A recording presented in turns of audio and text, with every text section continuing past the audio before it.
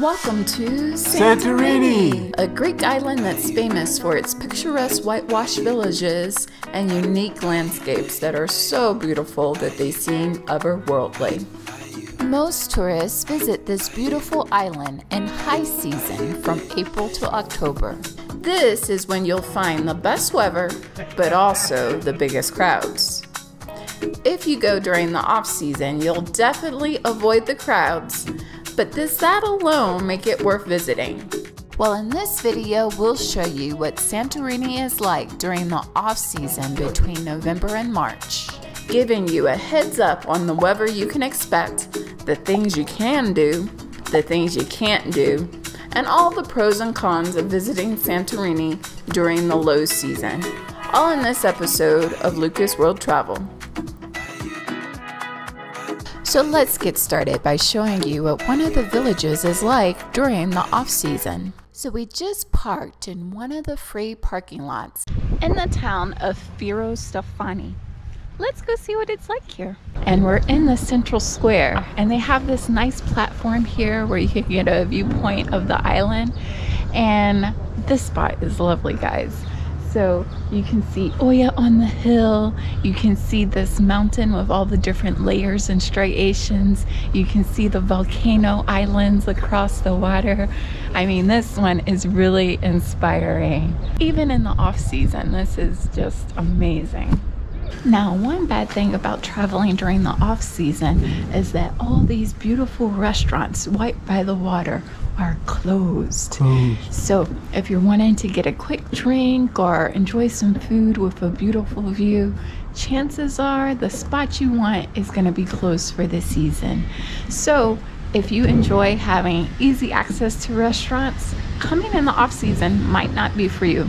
As we walked down the narrow paths of Firostefani, we were surprised to have the whole village to ourselves, with only this cat for company.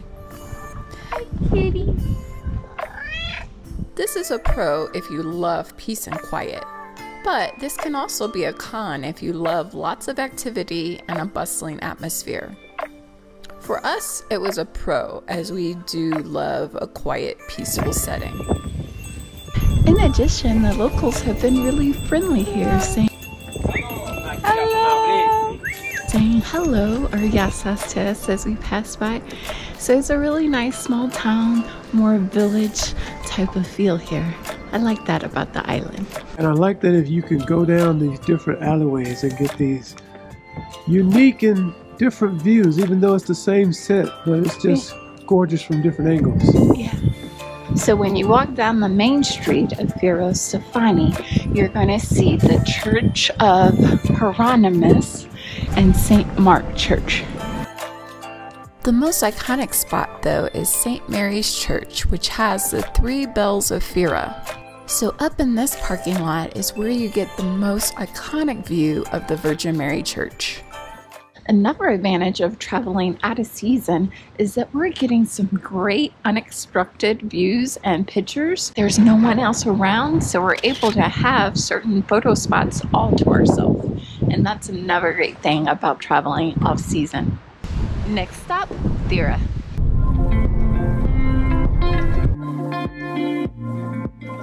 Now, another good thing about traveling during the off season is that we're actually able to find parking. I hear a lot of people when they come in season that renting a car is almost impossible because you won't find a place to park. Now, Thera is actually one of the most lively villages during the off season and is where we found most of the open restaurants at. These mushrooms are really good. They're juicy, they're tasty. David got the pasta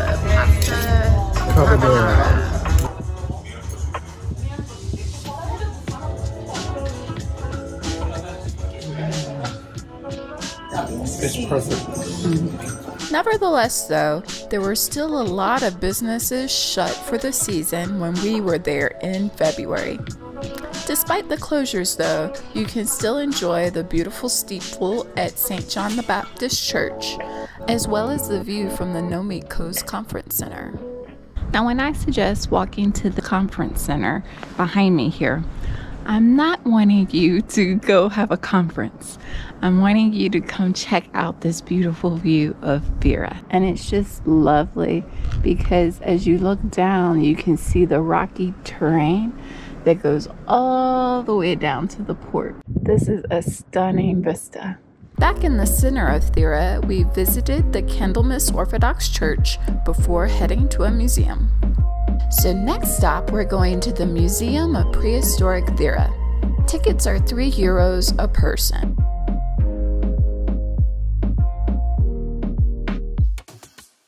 So this museum is quite interesting. It has two levels of exhibits.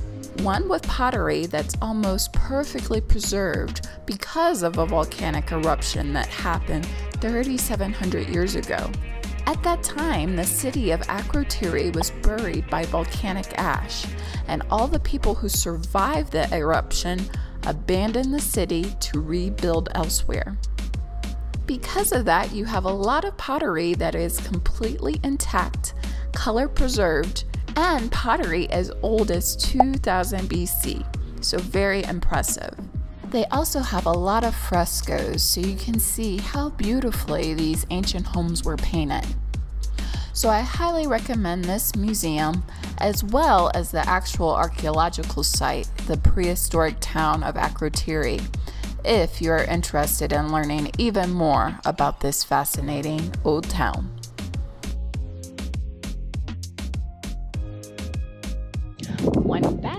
About traveling off season is that my hair is all over the place because it is so windy. In the forecast for this week, there's very high wind strength, so that can be quite annoying and it can even be a little bit dangerous when you're standing on a side of a cliff and it feels like the wind is about to knock you off of it. Despite the high winds, though, we still continued on to our next destination. So now we're by the Akrotiri Lighthouse to see the sunset, and it's windy as all get out. I'm a little bit scared to get out the car. it's windy and it's cold, but the wind is strong enough to blow us off this mountain. So we're hoping that we'll come back to the car and give a little insight on how the thing looked. So again, low season, only two cars. We got this place all to ourselves, but you can hear the wind, right? It's noisy. And there's the lighthouse. Now you don't come out here to see the lighthouse itself. You come out here the view at sunset.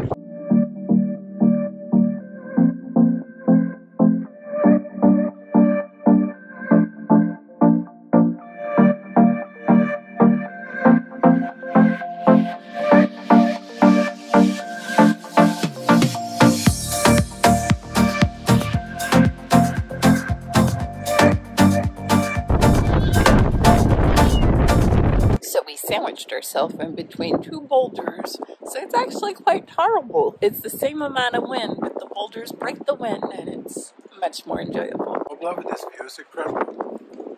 And if you stay long enough, you can see the light in the lighthouse come on. So this really was a nice way to end our first full day in Santorini. And we'll see you tomorrow. And it's day two in Santorini. And this is going to be our best weather day of the week, so we're very excited about it. So we drove down to Oia, which is the most popular spot in the island, and we're going to take a tour around this village. But first, please stand by for the donkey parade. Hello. Hello, Yasas. Hey. Hey.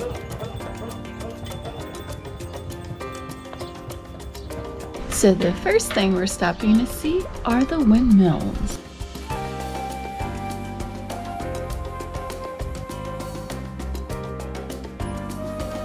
So just in general, you want to try to take your time and walk down the main paths of the village and just enjoy all the unique houses and all the unique views at every corner.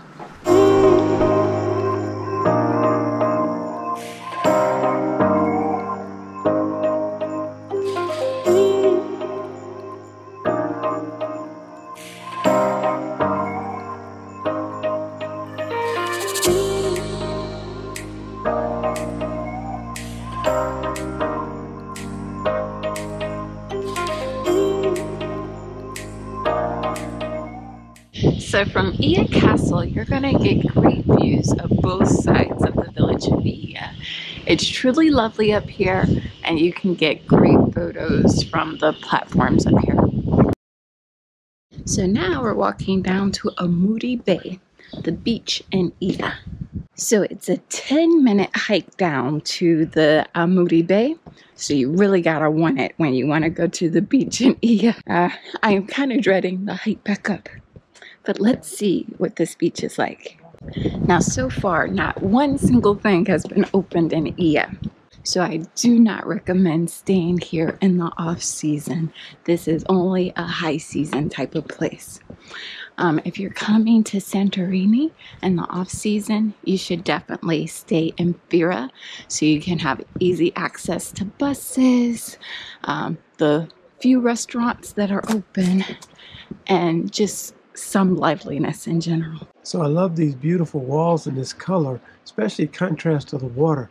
So when you come down here, be sure to uh, wear some comfortable shoes.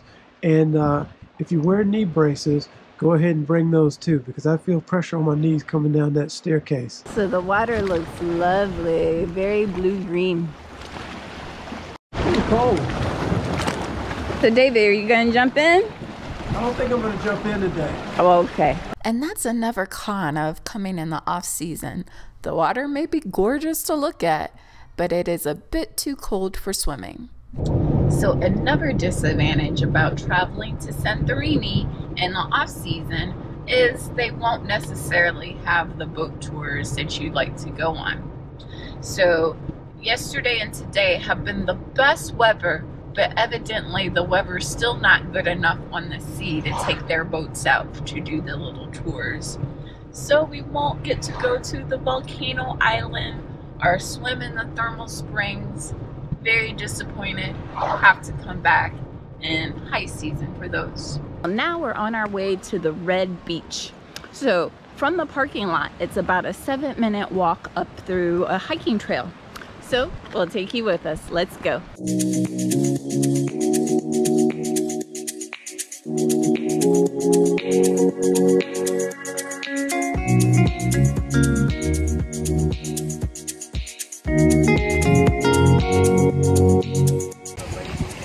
It really is a fascinating landscape. I'm enjoying this a lot.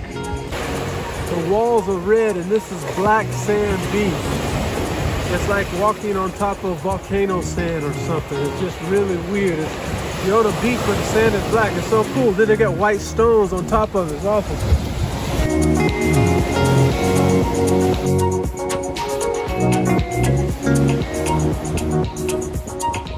So the beach also has a white side as well.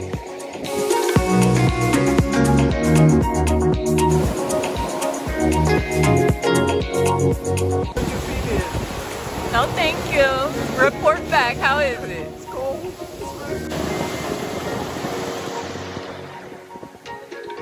So now we'll show you where we stayed for seven nights in Santorini. We stayed in Finika, a small village about 10 minutes away from Oia. Come on inside. The first thing you're going to notice is the whitewashed walls, and it looks like you're in a cave dwelling, right? The rounded walls and all the smooth curved lines. And this is our living room area. Now this particular house was a winery at one point and they converted it to a living place.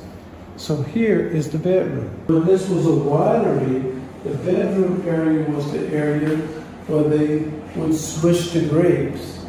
And then they drain the fluids or drain the wine or what would become the wine into this area here.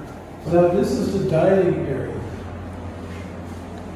So this, this is going to be, this is the kitchen area as you can see. Just some basic cabinets put against these walls. Come on inside. Okay. So as you can see, this wasn't a bathroom before. They fixed it and made it into a bathroom. But that's the shower. And you can tell the ceiling is fairly low because I could like, I can't even extend my arm all the way up.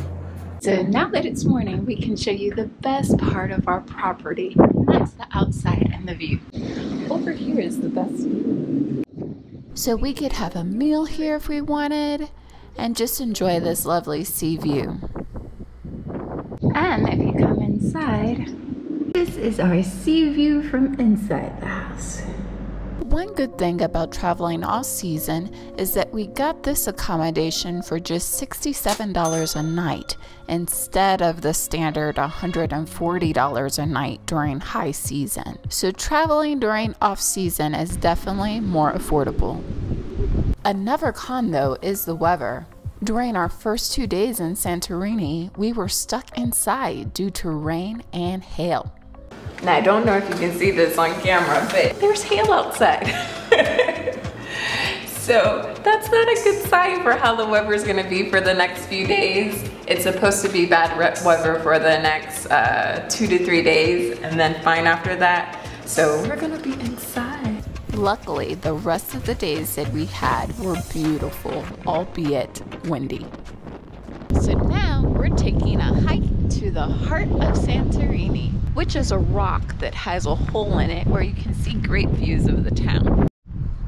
So we wound up wasting 30 minutes going the wrong way.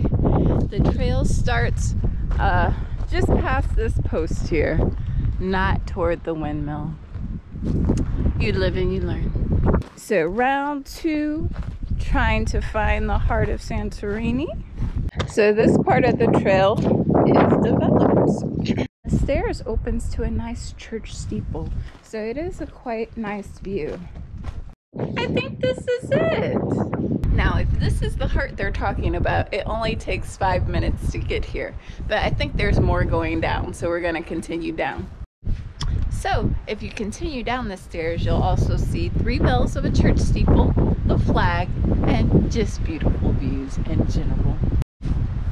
And even though it's a super windy day today, the trail is developed enough that I do still feel safe walking on it. Now, really and truly, I can't even tell it looks like a heart, but not a bad activity, not a must see in Santorini, but if you have some extra time, why not see the heart of Santorini? On our last day, we drove up to ancient Thera. It's very steep, it is very curvy. So essentially, you would have to drive up here. I don't think any bus comes up here. So now we're in ancient Thera. This is an archaeological site and it dates back to the 9th century BC. Um, but there's beautiful views of the surrounding areas and quite interesting to walk through this uh, ancient museum. And when I say this site has some great views, this is what I mean. So even if you don't enjoy the history, you might enjoy the view. Right here was the main city square. And they would have had altars to Zeus and Athena here. And here we have the ancient statue of David. He's been here since 2nd century BC. Oh, he moves too!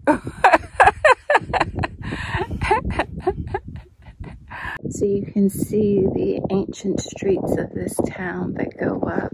And see just how expansive the city was. We really enjoyed learning a bit more about the history here and taking in all of the stunning views.